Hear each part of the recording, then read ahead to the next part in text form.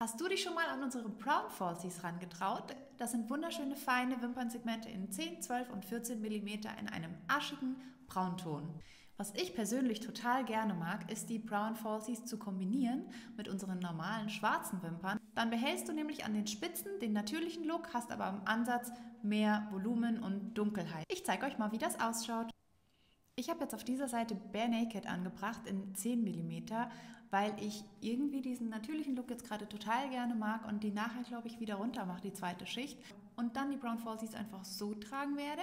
Das ist auch das Schöne an den Pre-Glued Lashes. Wenn ihr mal Lust auf eine zweite Schicht habt, um mehr Volumen reinzubringen für einen Anlass, könnt ihr das machen und sie danach einfach wieder abmachen und habt den natürlichen Style, so wie ihr ihn vorher angebracht habt. Was sagt ihr denn im Allgemeinen zu braunen Lash Extensions? Sollen wir mal eine Mixed Box mit unterschiedlichen Styles rausbringen? Hättet ihr Lust darauf? Und wenn ja, was für Brauntöne gefallen euch denn am besten? Ich persönlich mag eher die dunkleren, aschigen, aber ich bin gespannt, was ihr sagt. Vielleicht sind ja auch ein paar mit roten oder blonden Wimpern unter euch, die Lust auf ein helleres Braun hätten. Ich bin gespannt auf euer Feedback. Schreibt es gerne in die Kommentare.